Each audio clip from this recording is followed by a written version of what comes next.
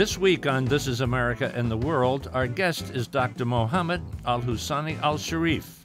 He's ambassador of the League of Arab States. The ambassador is former ambassador from Saudi Arabia to the Republic of Turkey and former ambassador from Saudi Arabia to Canada. Mr. Ambassador, it's good to sit and talk with you once again. thank you. Uh, educate the folks uh, as we begin about the Arab League. 22 member countries, huh? Yes. And we look at the Middle East today. excuse me. We look at um, what's happening now in Syria uh, and Iraq. Yes. Uh, it's just unbelievable to us. How do you see it? Yes, this, of course, it started uh, three or four years ago, the Arab Spring, which is not anymore no? Uh, Arab Spring, not even uh, Arab Awakening. And although some uh, one journalist, I think in New York Times, he suggested that for a real change you need really generations, mm-hmm, mm-hmm, mm-hmm. which is correct. Mm-hmm. you know, these countries were under drastic change.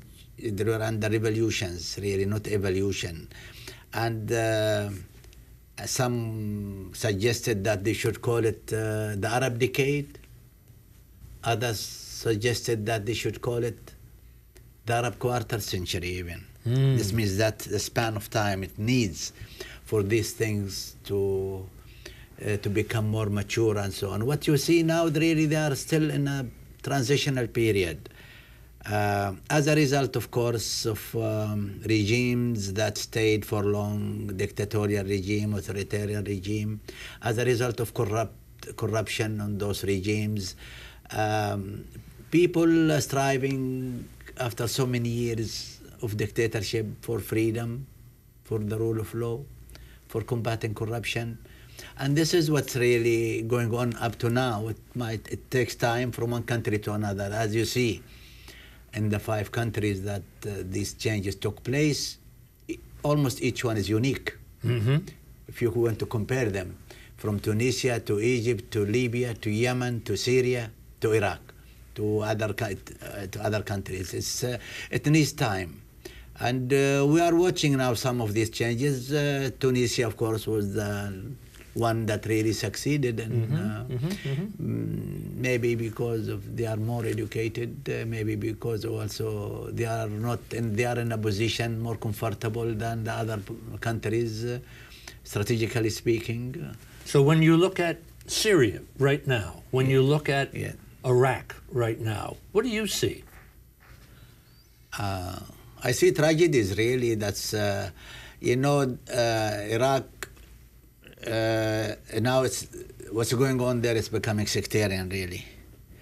It's uh, which we have never thought this will happen because the Iraqis are very open-minded. They are very liberal. They never, I think, had this kind of sectarianism, but the constitution that was made at the beginning when uh, Saddam was uh, overthrown uh, had strengthened or enhanced this uh, uh, this sectarianism. Uh, for, to my opinion, I was in Turkey and I was watching Iraq closely.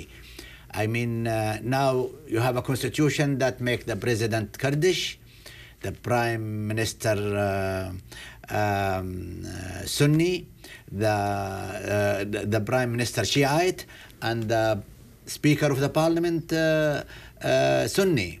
And you have this. I mean, uh, uh, the government is is is based now undivided on the basis of um, of sectarianism. Do you see three independent states there? Uh, that, that, Possible. Thus, many people uh, see that. Many observers see that, and uh, that Iraq is going to that extent. Uh, but when you look at the brutality, the refugees, the carnage in both Iraq and now in Syria at the same time, uh, it's it's it's just mind-boggling to even watch. What is this Islamic State? And is it a threat to the Arab world as well as to the United uh, States? You know, I don't want to use Islam on those states. I, I, I hate to use any religion really to describe. Because it really is to describe this group. Uh, no, it's the, they use Islam like they don't know that they are tarnishing Islam. I think they have nothing common with Islam at all. Islam doesn't hate people the way they are doing. Islam doesn't hate people. Islam, if you study Islam and go deep into Islam, you find that it's uh, one of the most tolerant religions. But, but now, how did it catch hold? If you turn the clock back, what was happening in those two countries that made this ISIS or ISIL happen? It's really it's political. It's not religious at all. This, I mean, this, this, this Iraq was divided on, uh, divided on political basis, mm-hmm. and then it took that one took over as on political mixed with religion. Mm-hmm. They used religion. Mm-hmm. As I told you, the division, uh, like I mean, what's going in some other countries, uh, you divide the legislative, the, the executive power, um, uh, and the judicial power you, on the basis of religion. It's, this is really a problem. It's very sensitive. Is it tribal? Uh, tribal, is it Sunni not, Shia? Not, uh, not in, uh, uh, no, in Libya will be more tribal than in Iraq. Iraq, you can say it's sectarian religious. Okay. Uh, Libya, you can say that. Yemen can say it's also tribal. Okay, now we have five but, five Arab League countries yes. who have now joined the United States mm. in targeting ISIS or yeah. ISIL. Yes. It must pose a large threat to the Arab world. Uh, yes, especially they are very close to the Gulf countries. If you see those five countries you mentioned, most of them are from the Gulf. Mm-hmm. So it's very. It's Qatar, it's Bahrain, Saudi Arabia. Yes. Jordan. Uh, Jordan, and those are very close to the Gulf. And mm-hmm. this uh, UAE. Uh, yes, uh, actually four, five, four from the Gulf countries, GCC countries, mm. which is normal because the, the, the Islamic State, what you call it, Daesh. I don't like really to put Islam or any other religion. Um, I mean, uh, describing those people. Uh, what name we look, would, we look what? at them uh, terrorist, uh, deviant. Um, they cannot be Muslims at all. They cannot be Christian. They cannot be Jews. They cannot be any other. Uh, they can't.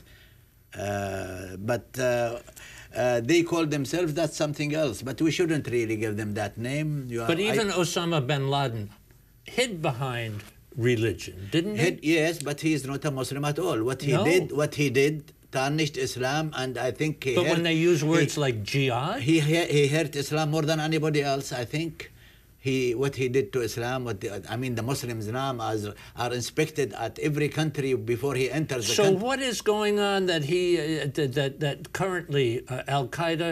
Uh, offshoots. Uh, now we have new names: uh, Khorasan, every day, and, uh, Nusra Front. Every day, yeah, I was surprised. How did they rally these young people, though, to fight? of course, young people are very easy to recruit everywhere. They are. It's normal. Because yes. they have no jobs? Uh, they have no jobs, they have no families around, they have no children to care about. So, uh, you know, young people always, it's easier to recruit everywhere. But why is it so uh, desirable for them to join this uh, jihad against the Arab world and against America? Of course, it depends on how uh, what uh, what the, on their education, what they read, how they are taught. Mm-hmm. Education is they very, don't have education, do they? Uh, they? Some of them they have education, but in a certain way. They they are they are educated. They are brainwashed. They are educated certain principles that they are they stick to it, and that's all. They are not open to the world. They don't know the value of life what mm. is life, what is it to live. And if those people are, uh, are, and of course, some of them they have grievances at home. Yeah, yes, yes, yes, yes, yes. Yes, let's take yes. that also, and that's why they go and go somewhere else to. We're way behind. Uh, time to take a little break. Uh, we should uh, say to the folks at home who are watching us, we're talking with uh, Dr. Mohammed Al Hussaini Al Sharif, and he is the ambassador representing the League of Arab States in the United States. Take a little break, back on the other side, continuing our conversation.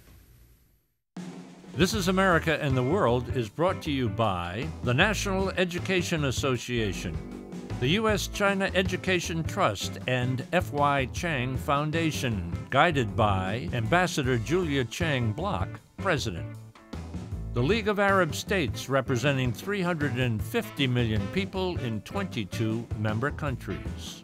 ANA, Japan's largest airline with an extensive network throughout Asia. Japan, history, hospitality, and advanced technology. Sharing tomorrow. The Petrolin Group, expertise with integrity in the fields of oil and gas, exploration and production, energy, and infrastructure. The Republic of Kazakhstan, a rich history and a future of development and growth. The Rotendaro Family Trust. The Embassy Series, uniting people through musical diplomacy, presenting international artists in diplomatic settings. And Ventana Productions, television facilities, editing, and distribution services. Mr. Ambassador, uh, when you um, look at the Arab world and the, and the Arabs, say in the United States, is, is it hard uh, to bring those two cultures together because of the perceptions and some of the myths that surround uh, Arabs? It's not hard, uh, but you know, in the United States, uh, uh, you have uh, United States is an open society. Mm-hmm. Lobbies lobbies are very strong. Mm-hmm. Lobbies uh, control media. Mm-hmm. Lobbies. Well, I don't. I'd say, mm-hmm, but I, I'm, I'm just listening. But I don't know that I totally agree with you on that. one. yeah, lobbies. Not all the media, maybe, Mm-hmm. but they have their own media. Let's put it this way. If you don't like that one. Okay. Uh, so lobbies are very strong. Um, uh, lobbies also control the um, cinema, the movies, the um, uh, all of this, and now, of course, with um, with social media, now I think anybody can say anything, can put anything, can show anything. Do I hear between the lines, Mr. Ambassador? We're heading toward Israel and uh, Palestine here. Yeah, well, this is, we, is that where we're, we're coming to that. Yeah, we are coming to that. Uh, I mean, the Arabs' reputation are uh, tarnished uh, by the movies, by the media, by uh, lobbies, by think tank organization. You have here in uh, in Washington 185 think tank organization. Mhm. This cannot be anywhere in the world in one capital. You cannot find it anywhere, only here. And the best think tank organization would they bring the best speakers they have the best buildings that cost hundreds of millions of dollars. Most of those are controlled by the lobbies. They bring the people When you say the lobbies, are you talking about the Israel? Israeli, the, one of That's them, one of them, the Israeli Who lobby. else? Who else? Some other lobbies I don't want to mention, but the main. But you'd mentioned Israel. But the man, yeah, the man, the one which interests me really as the Arab League, and the one I have been uh, watching closely is the Israeli lobby, really, which is very strong. Uh, it's uh, not only strong. I mean, it can be, it can cause fear even to people. It can, you can, it can harass people. It can harass uh, uh, politicians, senators, congressmen. Do you think that, that, that all those congressmen and all those uh, um, um, representatives, I mean, uh, the, the- when they vote, how, how, how can we work together? when they vote, when they vote, they vote for the sake of Israel. They, they fear Israel. They fear the lobby. The lobby is very strong. Harassment is the problem. Now listen. And the money is the problem. Without the money of the lobby, they cannot win the elections. But here's here's here's the question, Mr. Ambassador. Uh, when uh, people uh, read in the paper uh, that uh, you've you've you've you've expressed these views before, and and, and it's it's knowledge, you know, that people think uh, in this way. I'm not sure that I I agree with you so much, but look at the other side of the coin. When people uh, hear about uh, turn the clock back. Rockets being launched from Gaza into Mm. Israel. Uh, Israel has to protect itself, doesn't it? Uh, there, there, there's Oh, a yes. right and a wrong on either side of Oh, this yeah, oh, equation, yes. isn't there? oh yes, Huh? yes, yes. But I tell you what, But but is Israel? Uh, it's fearful for their uh, security. Israel has no right to protect itself. Oh, how I, can you I say tell, that? I tell you why. how can you say I that? I tell you why. No, no, no, no. Everyone has a right no, to no. protect If, if, themselves. if it's if it's own territory, defending its own territory, Israel is defending illegally occupied territory. Oh, don't, don't- but, but don't, don't, come on. You, you can't go back to. No, no, no, no, you are You telling can't. me, I'm- yeah, but, that, but people are people. No, You- people are- people. people are you people. Cannot, you Pe- cannot. Okay. I, I could not. I can't even. Let's go. Let's take uh, Israel and Palestine off the Yes, table. yes, yes. When Russia is lobbing rockets into Ukraine. That's wrong. Mm. When they send people across mm. the border in the middle of the mm. night, that's wrong. People are people, and they, Okay. they should be respected. No, you cannot they compare. You they cannot. should be respected. You, you can't. You not- cannot compare also. But you don't want to reduce no, it no, to territory. no, no, you don't want to reduce it to Mr. Dennis. You cannot compare because here is a country. Here is a. Here is. Here are. Mr. Ambassador, Yes. we look at we look at Iraq now. We look at Syria now. You've just come back from Lebanon Mm. and Egypt. Uh, Lebanon, how many refugees there? Maybe over a million, huh? In Jordan, over a million. Yes, over a million. refugees. In Turkey, over, over a million also. So, so those people have no place to go. They have no home anymore. Yeah, yeah, yeah, but they have can- no home anymore. You cannot compare. But it's all politics, You isn't cannot. it? Is it You cannot compare. Now you I brought. I- now I- you brought something else. You What- brought what- you, you brought a conflict between two uh, countries recently, but here you have a people who were occupied for 66 years. Here you have a people uh, who who are who, you know what David Cameron, the Prime Minister of England, he said about the people of Gaza. He said they no, are no, no. That whatever was said, I have said for years, people should be invested in Gaza. They should be had been investing. They they should have been investing. yeah, and and, they look- are living. They have But been. what are you going to do about Hamas? They have lived. What they- are you going to do well, about they have, Hamas? Well, the Ham- Hamas, I mean, Hamas was elected. Uh, was elected. Uh, I mean, yeah, but they, clearly. they, they, they, between, you wanted between election you and me. in the United States. You But wanted. in- no, between you and me, they are a terrorist well, group. no, are they no, not? I, I no, I, I don't. You don't think so? I don't. I don't. well, let me ask you this question Yes. because I believe they are resistant movement to liberate themselves from occupation. Sh- should they have a place at the table? Of course. Okay. And they should. They are the ones Okay, who should be really. but but but but, but uh, Secretary Kerry tried so hard to broker a pe- peace there. Is there any hope? Oh, okay. Is there any okay, I hope? tell you. Okay, okay. I'm glad you brought so many things now. Wait a minute. I do. Okay, let wait. Wait a minute now. Let me let me let me speak. But I- but you, brought, you brought so many things which are very sensitive, very important. Okay. Now the the situation between Israel and Palestine is completely different. Here is a here is a country, like the Israel, the most No, sophisticated. let, let, let, let, let us not just just have you sit and and uh, uh, trash Israel. That that because I'm not. That's not what I'm here for. What we're here for is how do we bring the both sides together. Yeah, you, you are not here for. I am here for also to defend the Palestinians because they are they I- are, I- I- they are the underdog.